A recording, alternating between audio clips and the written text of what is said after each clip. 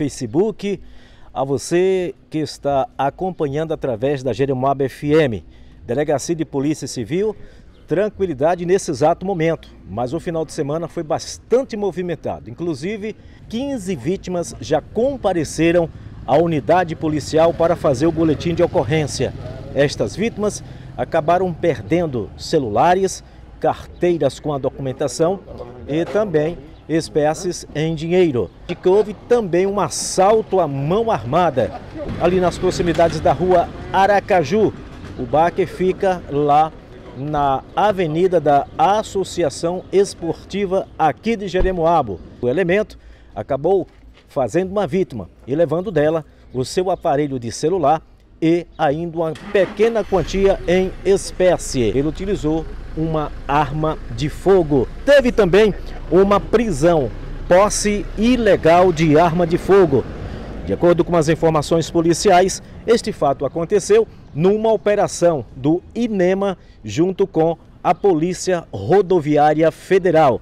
De acordo com a informação aqui da Delegacia de Polícia Civil, são informações oficiais, inclusive agradecer aqui ao nosso amigo Hermano, o escrivão que foi o plantonista deste final de semana, cujo plantão começou na última sexta-feira e encerrou hoje por volta das 5 horas da manhã. Esse plantão contou com o delegado plantonista, o doutor Eduardo, da cidade de Paulo Afonso, e teve também o trabalho dos agentes de polícia civil e este fato ocorrido lá na comunidade do, de Brejinho, zona rural aqui de Jeremoabo. Trata-se de um senhor de 60 anos de idade que conseguiram apreender quatro gaiolas com pássaros silvestres e rendeu para o senhor aí uma notificação com relação aos pássaros.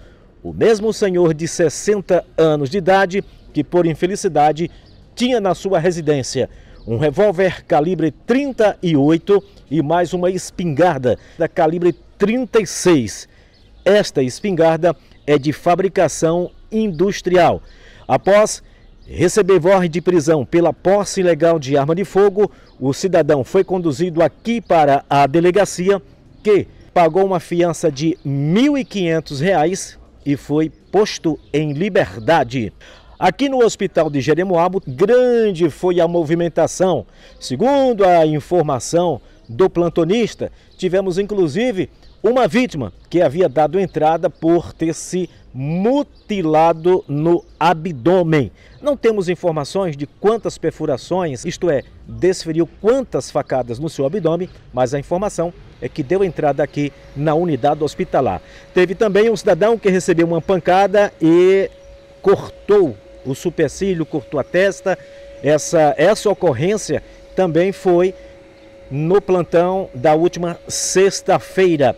Tivemos ainda, segundo as informações, a prisão de uma pessoa no meio do evento, isto é, na Alvorada de Jeremoabo. Inclusive, foi conduzido por homens da segurança particular. Teve que sair do evento algemado.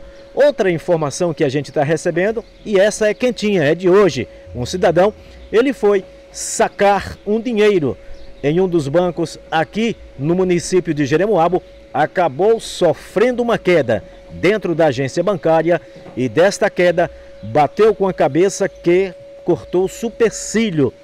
O SAMU foi acionado e homens deram os prestaram os primeiros socorros lá mesmo em frente à agência bancária. Este fato foi acontecido já na manhã de hoje. E outros e outras ocorrências aqui na unidade hospitalar. Um jovem que havia desmaiado lá na Alvorada por conta da grande multidão, além de uma outras pessoas que também deram entrada na unidade hospitalar por ter bebido em excesso. Então aí um resumo da movimentação aqui no município de Jeremoabo nas últimas 72 horas por ocasião das festividades juninas que estão acontecendo aqui no município de Jeremoabo. Repórter Reginaldo Alves é o comandante do Trovão Cinza da Notícia, direto da Delegacia Territorial, para o programa Notícias da 106